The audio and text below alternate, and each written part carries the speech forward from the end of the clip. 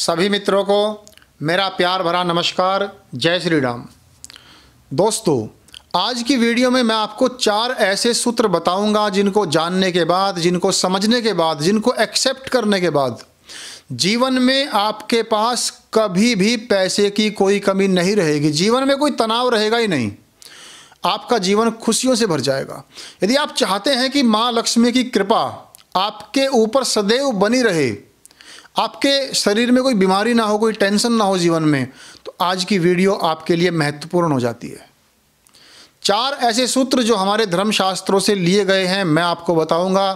और मेरा अपना अनुभव है, यदि आपने इन्हें एक्सेप्ट किया तो आपका जीवन बदल जाएगा। पूरी जानकारी आप तक पहुंचाऊँगा, लेकिन इससे पहले मैं बात को आगे बढ़ाऊं, मैं आपको बता दूँ।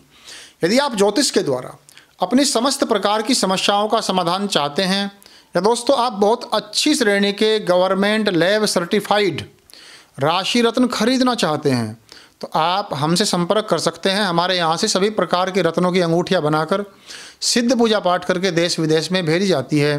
तो चलिए विषय में आगे बढ़ते हैं। यदि आप बहुत सारा पैसा कमाना चाहते हैं और माँ लक्ष्मी कभी आपसे नाराज़ ना हो, हमेशा आप, उनका आशीर्वाद आपके ऊपर बना रहे तो सबसे पहले समय के महत्व को समझिएगा। जिस व्यक्ति ने समय के महत्व को समझ लिया, वह जीवन में कभी उसके पास पैसे कमी नहीं रहती।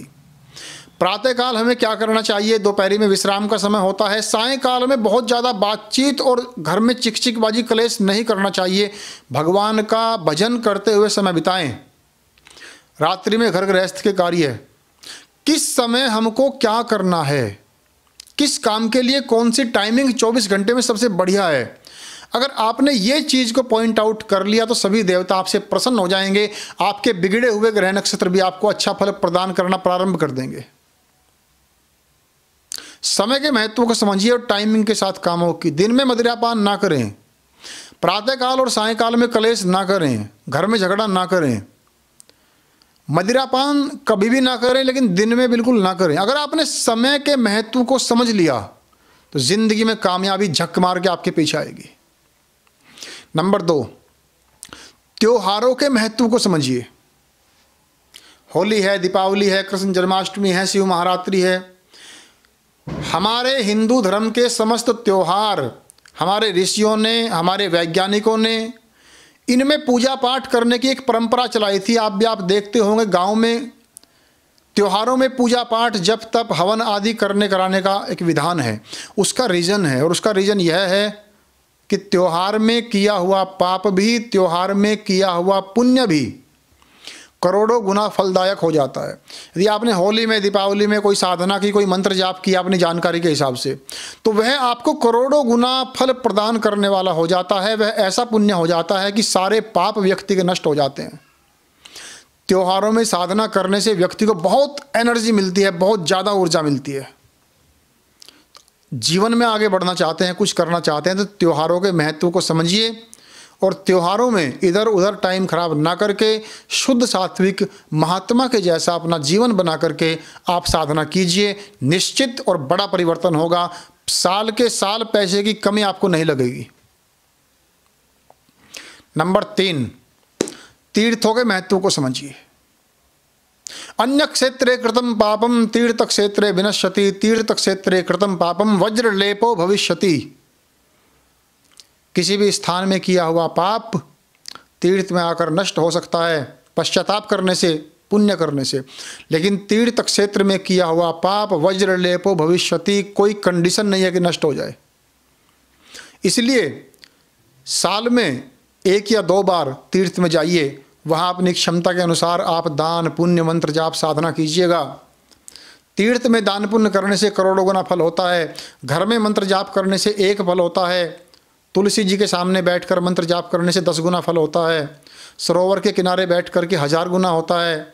मंदिर में बैठ करके जप करने से दस हज़ार गुना, लेकिन तीर्थ क्षेत्र में सिद्ध स्थान में गंगा जी के तट पर मंत्र जाप साधना करने से करोड़ों गुना, अनंत गुना फल होता है। जितना पूरे साल आप जप तप करके पुण्य कमाते हो, सिद्ध स्थान में, तीर्थ में गंगा जी के तट पर एक माला मंत्र जाप करने से उतना पुण्य मिल जाता है। दोस्तों, कोई कमी आपके पास में जीवन में पैसे की नहीं रहेगी। यदि आपने इस सूत्र को समझ लिया एक्सेप्ट कर लिया, हृदयंगम कर लिया। कन्फर्म नंबर चार. तपस्वियों के महत्व को समझिए। कभी कभी हम किसी काम में उलझ कर रह जाते हैं, लेकिन किसी व्यक्ति की तपस्या साधना इतनी ऊँची होती है, उसका एनर्जी लेवल इतना अच्छा होता है कि किसी के पैर हमारे घर में पड़ जाएँ, हमारी कुटिया में पड़ जाएँ तो बिगड़े हुए काम बनने प्रारंभ हो जाते हैं ऑटोमेटिकली उसके बिना कुछ किए, किसी भाग्यवान व्यक्ति के हमारे जीवन में आने से हमारा जीवन बदल जाता है। जो तपस्वी हैं, जो सिद्ध हैं, जो भगवान के भक्त हैं, जो साधक हैं कभी उनका भूल कर भी अपमान न करें और जितना हो सके उन्हें अपने जीवन में उनका सम्मान करें। जहाँ तक हो सके धन से, वस्त्र से, भोजन से उनकी सेवा करें। तपस्वियों का सम्मान भी आपके जीवन को बदल करके रखते हैं। तो चार बातें। आपके ग्रह नक्षत्र कैसे भी हैं, किसी भी ग्रह की महादशा है, किसी भी ग्रह की अंतर कुछ भी नेगेटिव है आपके जीवन में, अगर चार बातें आपने समझ ली तो जीवन में आपको पीछे मुड़कर नहीं देखना पड़ेगा। कभी आपको पैसे की कमी नहीं लगेगी। ये मेरी ज़िम्मेदारी है इस बात की। दोस्तों, मैं कामना करता हूँ, आज का विषय आपको अच्छा लगा होगा। और यदि आपको हमारी वीडियोज़ अच्छी लगती हैं तो चैनल को सब्सक्राइब ज़रूर कर दिया करो, वीडियो को लाइक कर दिया करो। और ज्योतिष दिखाने के लिए, हस्तरेखा दिखाने के लिए राशि रत्न खरीदने के लिए, या अन्य कोई भी आपका क्वेश्चन है, उसके लिए आप सीधे सीधे मुझे व्हाट्सअप कर सकते हैं, मुझे कॉल कर सकते हैं। और कामना करता हूँ जानकारी आपको अच्छी लगी होगी। जल्दी ही मिलेंगे किसी ऐसी शानदार जानकारी के साथ। भविष्य में भी तब तक के लिए नमस्कार।